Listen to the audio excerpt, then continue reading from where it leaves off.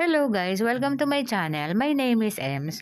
So today po ang pag-uusapan po natin ay ang September forecast para po sa Chinese horoscope ngayong September 2022. So dito po, malalaman nyo po kung ano ang kalagayang pinansyal ng inyong sign. So ito po ang tatalakayin natin dito sa video na ito. So kung kayo po ay bago sa akin channel, uh, please like and subscribe po. I-hit nyo po ang bell button para po sa susunod na upload ko, kayo ay manotify.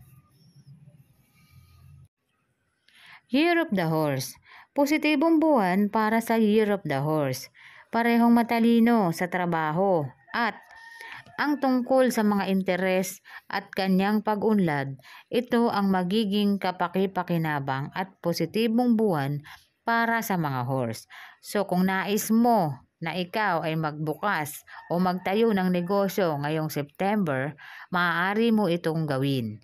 Maswerteng buwan ito para sa iyo kung ikaw ay horse. Year of the Goat Ang September ay isang buwan kung kailan dapat ibigay ng kambing ang kanyang makakaya at pati na rin tamasahin ang mga magagandang oras na inaalok sa buwang ito.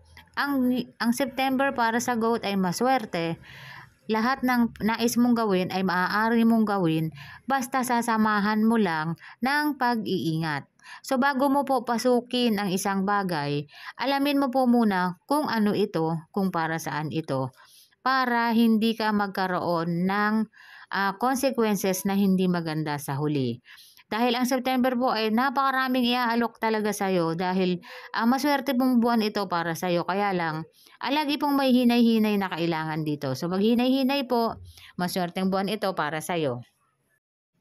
Year of the Monkey at sa pamamagitan ng pagbuo ng mga kontak at suporta, paglalagay ng ideya, pati na rin ang pagpapakita ng pangako sa negosyo, tiyak na mapapahanga at mapapalakas niya ang kanyang mga prospect sa mga progresibong buwan na sinusunod. So maswerteng buwan ito para sa monkey.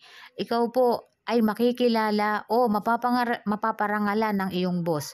Kung ikaw naman po ay pumap, ikaw po ay uh, nagtatrabaho, makikita ng boss mo ang kahusayan mo at kagalingan mo. Ganon din po kung ikaw ay mag-aaral. Mapapansin agad ang kagalingan ng monkey.